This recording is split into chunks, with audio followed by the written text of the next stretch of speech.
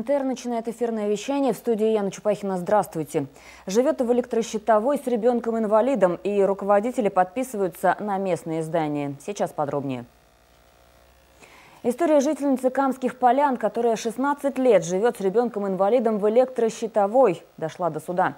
Напомним, семья Ахуновых, состоящая из трех человек, проживает в комнатушке 18 квадратных метров. Со слов хозяйки, находиться в помещении небезопасно. Повсюду висят провода, а на окне решетка. Адвокат настаивает, что его подзащитный имеет право на получение жилья вне очереди. Однако ответчик, которым является исполком Камских полян, указывает на то, что получить жилье социального найма женщина может исключительно в порядке очереди. Подробности этого непростого дела смотрите сегодня в итоговом выпуске выпуске НТР в 18 часов 30 минут.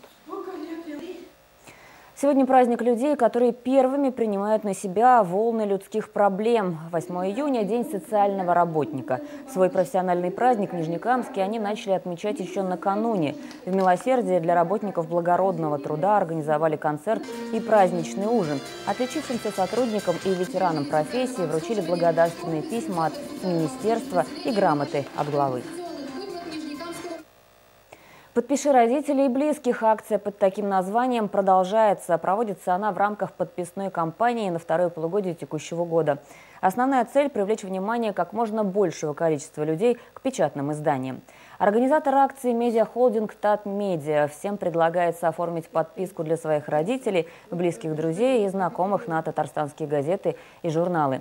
Наша газета «Нижнекамское время» тоже в этом списке. Все желающие могут оформить подписку на это современное и актуальное издание. К акции уже присоединилось немало известных руководителей. Свое отношение к печатной прессе выразила и начальник управления здравоохранения Венера Рахимова. Она подписалась сама и подписала своих родителей.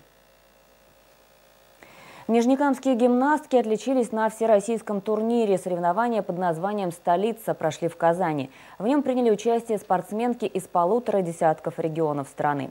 Нижнекамск представляли воспитанницы спортклуба «Нефтехимика» юные нижнекамки. Соревновались в категории А, которая предполагает высокий уровень подготовки спортсменок. Среди наших были не только опытные гимнастки, но и начинающие. Некоторым из них всего по пять лет. Несмотря на возраст, девочки выступили уверенно. Лучшими стали Ралина Шахиева и Виктория Зарипова. Плюс 17 сейчас в Нижнекамске, облачно с прояснениями. Дело о взятке полицейским рассматривают в Нижнекамском суде. Об этом расскажем через пару часов. Звоните нам по телефону 400770 или пишите на сайте ntr-24.ru. Еще увидимся.